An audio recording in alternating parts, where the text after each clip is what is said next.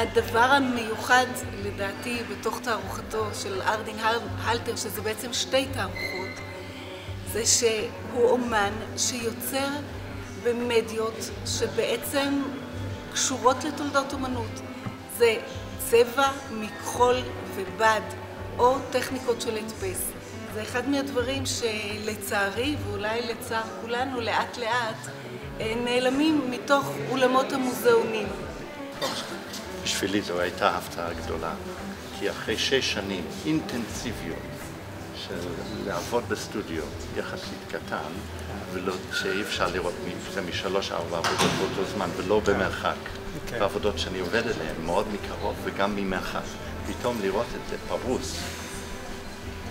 תשמע, כל מה שאנחנו, שאתה יודע, מהמקום שלך כאומן, שאני יודע, מהמקום שלי כצופה או כאוצר או כחוקר,